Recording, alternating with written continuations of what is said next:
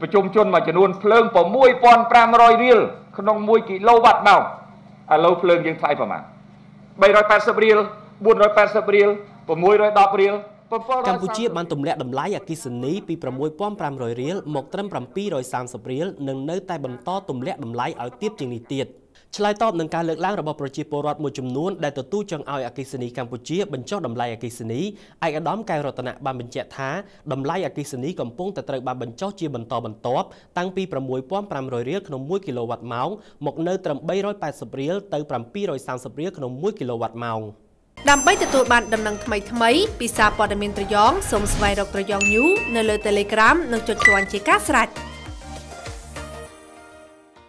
ឯកឧត្តមកែវរតនៈរដ្ឋមន្ត្រីក្រសួងរាយនិងធម្មពលបានលើកឡើងបែបនេះនៅក្នុងពិធីបើកការដ្ឋានសាងសង់រោងចក្រដំឡើងរថយន្តអគ្គិសនីនៅស្រុកក្រគរខេត្តពោធិ៍សាត់កាលពីពេលថ្មីៗនេះរដ្ឋមន្ត្រីបញ្ជាក់បន្ថែមថាតម្លៃអគ្គិសនីនៅកម្ពុជាបានចុះថោកជាបន្តបន្ទាប់និងបន្តចុះបន្ថែមទៀតខណៈបរិមាណនៃការផ្គត់ផ្គង់ក៏ត្រូវតែបង្កើនឲ្យកាន់តែច្រើន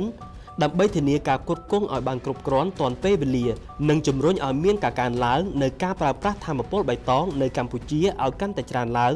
ដែលវានឹងចូលរួមចំណែកក្នុងការការពារបរិស្ថានបច្ចុប្បន្នតម្លៃអគិសនីនៅកម្ពុជាសម្រាប់អ្នកប្រើប្រាស់ប្រភេទពាណិជ្ជកម្មឧស្សាហកម្មកសិកម្មរដ្ឋបាល និងផ្សេងផ្សេងទៀតដែលភ្ជាប់ពីខ្សែបណ្ដាញតង់ស្យុងមធ្យម និងភ្ជាប់ពីក្រោមតង់ស្វូចាយចាយតាមកុងទ័រមានចន្លោះពី448រៀលដល់703រៀលក្នុង1គីឡូវ៉ាត់ម៉ោងសម្រាប់អ្នកប្រើប្រាស់នៅតាមលំនៅឋាន ដែលបានភ្ជាប់ពីខ្សែបណ្ដាញចាយចាយមានចន្លោះពី380រៀលក្នុង1គីឡូវ៉ាត់ម៉ោងសម្រាប់អ្នកប្រើប្រាស់អស់1ដល់10គីឡូវ៉ាត់ម៉ោង480រៀលក្នុង1គីឡូវ៉ាត់ម៉ោងសម្រាប់អ្នកប្រើប្រាស់អស់11ដល់50គីឡូវ៉ាត់ម៉ោង 610រៀលក្នុង1គីឡូវ៉ាត់ម៉ោងសម្រាប់អ្នកប្រើប្រាស់អស់ពី51ដល់200គីឡូវ៉ាត់ម៉ោង730រៀលក្នុង1គីឡូវ៉ាត់ម៉ោងសម្រាប់អ្នកប្រើប្រាស់លើសពី200គីឡូវ៉ាត់ម៉ោងឡើងទៅ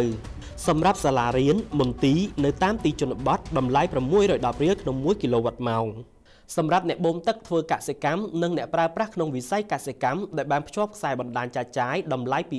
480រៀលក្នុង1គីឡូវ៉ាត់ម៉ោងសូមអរគុណចំពោះការគាំទ្រ Top News